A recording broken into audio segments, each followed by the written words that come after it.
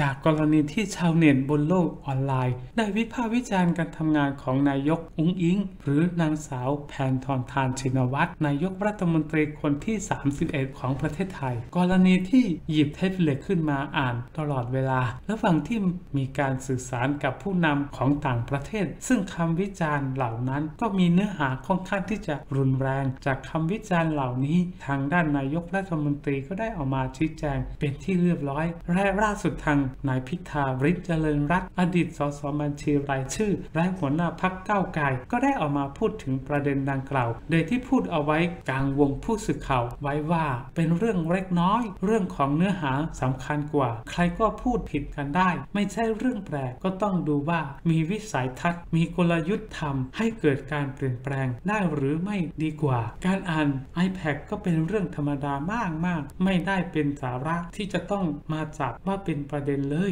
สำคัญควรกับโฟกัสที่เนื้อหาของนายกรัฐมนตรีกำลังเก่าตั้งหาก